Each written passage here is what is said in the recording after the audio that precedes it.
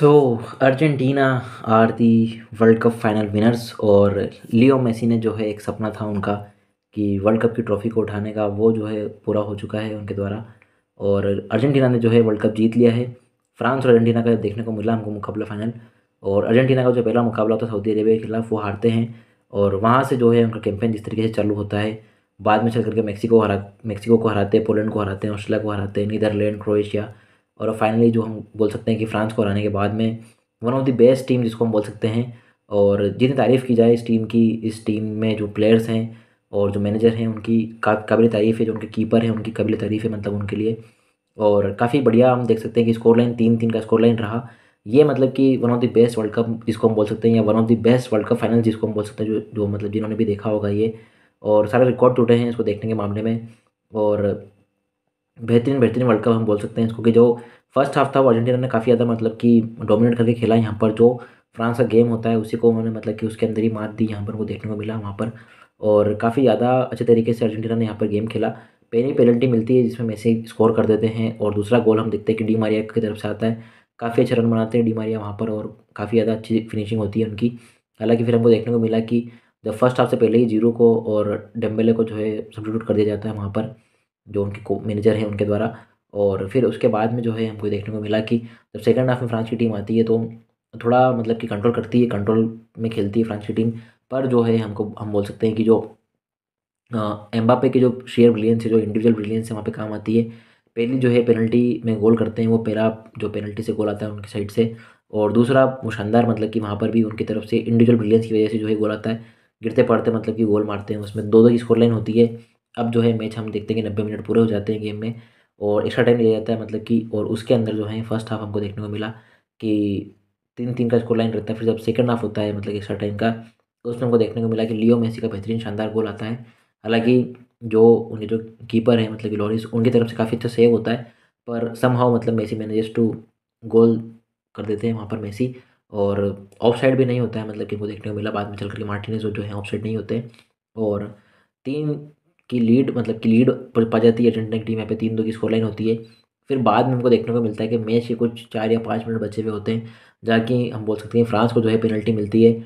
और जो हम बोलना चाहेंगे कि एम्बापे का जो यहाँ पर वापस प्लेयर्स देखने को मिलती है हमें, कि एम्बापे वापस से पेनल्टी से स्कोर करते हैं मतलब हैट्रिक लगा देते हैं, वो दूसरे प्लेयर से बन गए हैं जो फाइनल में जो है जिन्होंने हैट्रिक लगाई है यहाँ पर। और काफ़ी बढ़िया प्रदर्शन देखने को मिला एम्बापे की तरफ़ से हमको यहाँ पर। और फाइनली जो है मतलब कि मैच के कुछ आखिरी चंद मिनटों में जो एक मिनट दो मिनट में उसमें भी चांसेस बनाती है अर्जेंटीना पर वहाँ पे फिनिश नहीं कर पाती ढंग से। और सेम चांसेस मतलब फ्रांस के पास में होता है क्रोनाटिक के पास में भी चांस होता है, पर वो भी इतना क्लिनिकल नहीं होते कन्वर्ट नहीं कर पाते वहाँ पर। एमी मार्टिनेस की बढ़िया गोल गोल कीपिंग हम बोल सकते हैं। और मैच जो है फाइनली हम देखते हैं कि पेनल्टी में जाता है। पहली पेनल्टी जो है बापे लेते हैं स्कोर कर देते हैं। तो उसके बाद में हमको देखने को मिलता है मैसी आते हैं मैसी स्कोर कर देते हैं। पर जब कॉमन आते हैं तो उनसे जो है एक तरीके से हम बोल सकते हैं कि एमी मार्टिनेस सेव कर लेते हैं। और चुआमेनी का जो एक, जो गोल नहीं लगा पाते मतलब पेनल्टी में विफल होते हैं, हालाँकि वो भी वहाँ पर। और मतलब एक्सपीरियंस की कमी की वजह से हम बोल सकते हैं यहाँ पर। और मे भी एक्सपीरियंस अगर किसी प्लेयर को हो, क्योंकि हमको देखने को मिला कि यूरो में जो है एम्बापे ने जो है मतलब पेनल्टी मिस करी थी वहाँ पर। और स्विट्ज़रलैंड के अगेंस्ट मतलब याना, जो जो याना सो में जो उनके जो गोल कीपर थे, उन्होंने काफ़ी अच्छी मतलब कि मतलब गोल कीपिंग करी थी वहाँ पर और सेव्स किए थे। तो पेनल्टी कर्ज जो हम बोल सकते हैं एक तरीके से, फ्रांस का क्या, अभी तो हालाँकि दो टूर्नामेंट हुए हैं पर यूरोप में जो है पिछली बार भी पेनल्टी की वजह से बाहर हुए थे और इस बार भी वर्ल्ड कप फाइनल में जो है पेनल्टी में आकर के फाइनल में हारी है फ्रांस। और सेम चीज़ दो हज़ार छः में भी अगर हम देखेंगे तो पेनल्टी तक वो मैच गया था मतलब इटली के अगेंस्ट और दिन जिदान की जो हम बोल सकते हैं, एक तरीके से उन्होंने हेडबर्ट दिया था वहाँ पर। और उसके बाद बाद में हम देखते हैं कि जो है पेनल्टी मैच जाता है और वहाँ पर भी फ्रांस पेनल्टी मैच हार दिए तो फ्रांस का जो पेनल्टी कर्स अगर हम बोलना चाहेंगे तो इसको नाम दे सकते हैं। अगर ये टूटता है, अगर ये आगे चल करके चीज़ें होती हैं इस पर तो इसको हटा भी सकते हैं। तो ये सब चीज़ें थी मतलब इस गेम के अंदर मतलब एम्बापे का शेयर मतलब जीनियस हम बोलेंगे ब्रिलियंस हम बोलेंगे इस गेम में, और इंडिविजुअल बेहतरीन अच्छा खेले वो हालाँकि टीम एफर्ट थोड़ा कम दिखा यहाँ पर हमें। अगर टीम से थोड़ा बहुत उम्मीदें उनको होती है कोई एक प्लेयर भी, और मतलब उनके साइड में मतलब कि थोड़ा और जान लगाता, क्योंकि हमने देखा कि बाद में मतलब ग्रीजमैन को भी मतलब सपोर्ट कर दिया था वहाँ पर। तो थोड़ा और मतलब कि अगर सपोर्ट होता है एम्बापे को तो मे भी कुछ चीज़ें अच्छी होती हैं यहाँ पर। क्योंकि हमको देखने को मिला कि मेसी के साइड में अलवारेज भी थे और मार्टिनेज भी खेले, बाद में हमने देखा कि प्रदेश भी आ जाते हैं तो वो भी मतलब कि मेसी को कहीं ना कहीं कहीं ना कहीं मतलब जो एक तरीके से उनके लिए मतलब आसानी हो रही थी मतलब चीज़ों को लेकर के। मेसी ने हालाँकि पूरे वर्ल्ड कप ही अपनी टीम को अपने दम पर अकेले ही वो लेकर के गए जिन्होंने जिताया भी उन्होंने, उनका सपना पूरा भी होता है ये। और once and for all all for मतलब हम बोल सकते हैं कि अब सारी सारी ट्रॉफीज़ मेसी के पास आ चुकी हैं। कोपा अमेरिका हुआ यूसीएल ट्रॉफी हुई ट्रेबल हुआ है ना, लाल मतलब लाल लीगा की ट्रॉफी हुई है, कोपा दिल रे हो गया। जितनी भी ट्रॉफी हम बोल सकते हैं, ये मतलब बस पी से अब उनका एक यूसीएल टाइटल ही बचा है, उनके पास सेवंथ जो है बेलेंडोर हो चुके हैं। अब मे भी अगर वो यूसीएल टाइटल भी जीते तो एट्थ बेलेंडोर आ जाएगा उनके पास में। तो ये एक चीज़ है जिसमें सारे के सारे जो उनका एक ट्रॉफी कैबिनेट है वर्ल्ड कप ट्रॉफी आने के बाद में पूरा के पूरा कंप्लीट होता है यहाँ पर। और ब्लेसिंग्स ऑफ़ मेराडोना जिसको हम बोल सकते हैं कि 1986 के बाद में जो है 2022 में आकर के हमको देखने को मिला कि अर्जेंटीना ने जो है मतलब कि वर्ल्ड कप जीता है। फाइनल मैच जीता है। और ऐसे ही इन्होंने कोपा अमेरिका भी बहुत टाइम चौबीस या अट्ठाईस साल के बाद में जीता था। अब ब्राज़ील को उन्होंने वहाँ पर हराया था।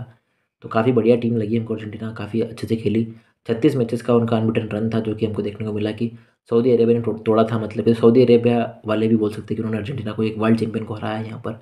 और दो एक ही स्कोर लाइन थी वहाँ पर वो। उसके बाद में जो अर्जेंटीना की टीम जो खड़ी हुई है फ्रांस का रन भी काफ़ी अच्छा था, उन्होंने भी काफ़ी अच्छा खेला। फ्रांस की टीम में काफ़ी ज़्यादा प्लेयर्स इंजर्ड थे, काफ़ी ज़्यादा प्लेयर इंजर्ड हुए, उसके बावजूद भी उनकी टीम अच्छी खेली। हालाँकि आज मतलब कोनाटे को ना खिलाना स्टार्टिंग इलेवन में जगह ना देना और बाद में जो जो हम बोलेंगे मिडफील्ड में भी अगर हम बोलना चाहेंगे तो जो यूसुफ जो जो उनके प्लेयर हैं मतलब एक उनका भी एकदम नाम ध्यान हाँ फोफाना जो मतलब उनके जो प्लेयर हैं, उनको भी स्टार्टिंग में जगह नहीं देना। तो वो मतलब कि तरीके से हम बोल सकते हैं कि काफ़ी डिसीज़न मेकिंग में बोल सकते हैं, पर वो मैनेजर के ऊपर ही रहता है।